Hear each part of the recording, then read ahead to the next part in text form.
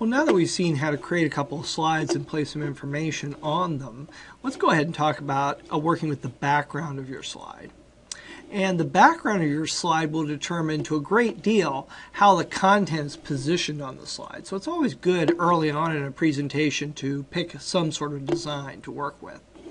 So I'm going to come here to my first slide just by clicking on it, and then I'm going to come to the Design tab here at the top. And we want to look at this area right here on the Design tab. And these are going to be the different themes that you can apply to this slideshow. And if you want to see what a theme is going to look like, all you have to do is click on the name of the theme. And you'll see that you get a preview. Actually, if you just hover over it, you'll get a preview, but then it'll go away. If you click on it, you'll be able to see the way that presentation is going to look with that particular theme. And I can click over here and you'll see the way that design is going to look. Now, once you've picked a theme here, you can also come over here to color, font, and effects and customize the way this theme looks. For example, I'm going to come here to colors and click the drop down and you're going to see as I hover over the different color schemes here, my presentation is changing. So just because you don't like the colors that you see here doesn't mean that you can't use that particular theme. You can come in here and just find whichever one works the best for you. And you can see I can scroll down here.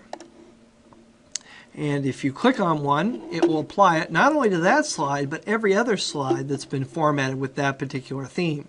For example, I can click right here and you can see the way that theme is going to look on both of those presentations. I can also adjust my fonts that are used in the theme by simply clicking that drop down there and you'll see if as I hover over these different font groups you're going to see that my fonts change over here. And this is one reason why you never want to manually change your font styles or your colors because if you manually change a font, these options up here may not work for you on all of the items. For example, I'm going to go ahead and highlight learning objectives here and you can see the font that it's in. I'm going to go to home and I'm going to say change this from Franklin Gothic to Algerian, something really horrible. Now when I go back to design and click the drop down for fonts, you're going to see that it affects this lower text here, but it doesn't affect the text up there. And again, that's because I've customized that font. I can come back into my design and highlight that again and come back over here to home. And I could manually change the font here if I wanted to to anything I want. And again, it'll stay that. So if, uh, if that's what you're looking for, this is perfect. You can also adjust the font size right here. I'm going to go ahead and choose something other than Algerian. I'm going to go back to Franklin Gothic.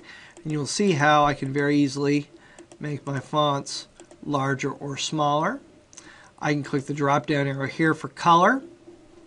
And you're going to see I get some colors here and they match the color theme that I chose before. So that can be really useful for you. And I'm going to select that gold color for my headings.